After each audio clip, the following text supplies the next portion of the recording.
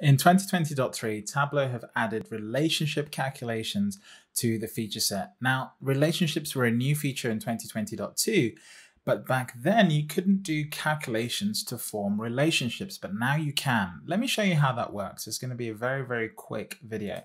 I'm going to go ahead and connect to the same beta bookshop data source that I connected to in my previous tutorial. Uh, be sure to check that video out. It's the exact same data source, so you can just go ahead and grab the file from that video. I'll also put a link in the description below to that um, data set. Now here, what we have is essentially a very simple data set where we have the authors.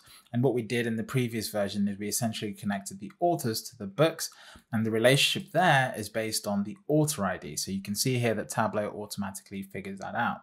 Now, the issue we had before is that if we wanted to bring the book information, I'll just show you here, you'll see that I actually created an artificial field to showcase how to do um, joins um, inside of the uh, relationship in order to bring the information in, if that makes sense. So book ID 1 and book ID 2 uh, basically come together to make the book ID. And so before what I had to do is I had to open up the author open up this in, information here, then go in here uh, and do a join calc, which is uh, available uh, prior to 2020.2.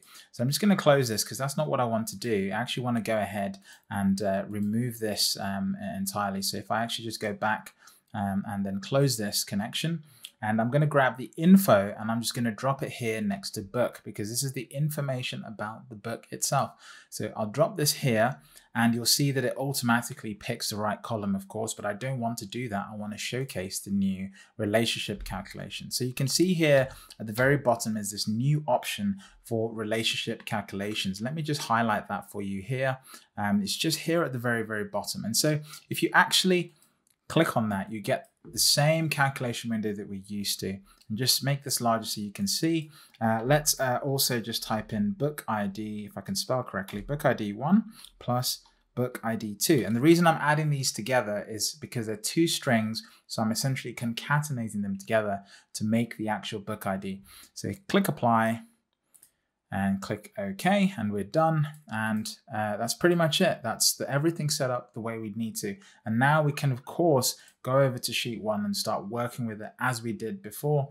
I can grab uh, an author, uh, grab their first name and last name, then grab a, a book. Uh, let's grab the title and we can get the information about that book and Tableau's pulling all of that information dynamically together. And that's pretty much it. It's a really simple feature, but it's something that a lot of people have asked for in the previous version of, uh, of relationships that was released in 2022.2. And it also gives us a hint that Tableau's not done yet. They might be still adding more features uh, into this toolset. So if you're watching this maybe a couple of years down the line, I'm sure there's plenty more about this feature. So be sure to subscribe to the channel, check out some of the other videos on this channel about that. And while you're here, why not check out some of the other videos on 2020.3? Uh, and by all means, let us know if you like the content, like, comment, dislike, whatever it is, let us know, and we'll try and improve the quality of what we're producing.